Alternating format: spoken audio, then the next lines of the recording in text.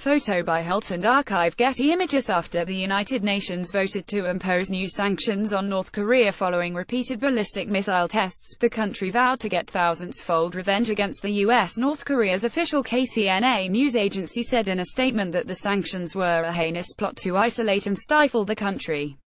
Now, Donald Trump has responded, and people are worried his blunt threat might provoke an already volatile and unstable leader like Kim Jong-un. After many years of failure, countries are coming together to finally address the dangers posed by North Korea, Trump tweeted earlier today. We must be tough decisive things, then, quickly escalated when Trump was asked about the North Korean threat at his golf club in Bedminster, New Jersey. North Korea best not make any more threats to the United States, he said. They will be met with fire and fury like the world has never seen. Jong-un has been very threatening beyond a normal state. They will be met with fire, fury, and frankly power the likes of which this world has never seen before. It's unclear what Trump means by fire and fury, but a lot of people are assuming a nuclear strike.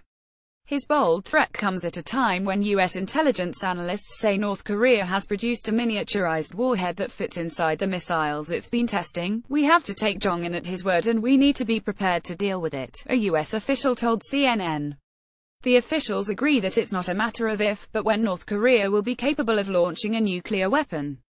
A spokesperson for the Korean People's Army KPA also issued a statement, saying the U.S. should be prudent and face up to the fact that the ballistic rockets of the strategic force of the KPA are now on constant standby, facing the Pacific Ocean. The KPA is also considering a preemptive missile strike on Guam, where U.S. forces are stationed.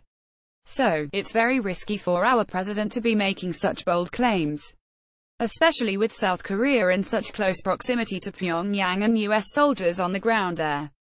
But it would NT be a normal day in a Trump presidency if he did NT take a break from golfing and crashing weddings to make unprecedented threats that could put a lot of people's lives in danger.